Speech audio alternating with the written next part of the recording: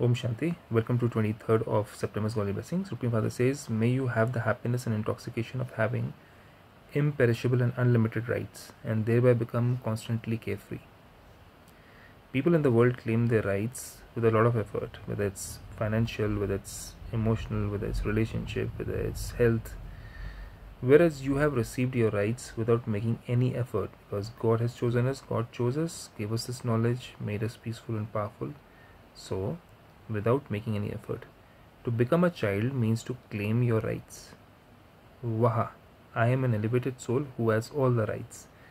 Say, stay in the intoxication and happiness of these unlimited rights, and you will constantly be carefree. So it's a very beautiful affirmation. What is it? Waha, I am an elevated soul who has all the rights. Stay in this intoxication and happiness of these unlimited rights, and you will constantly be carefree these imperishable rights are guaranteed whereas the worldly rights are not guaranteed. They are there today tomorrow they can be taken away or snatched away or even stolen.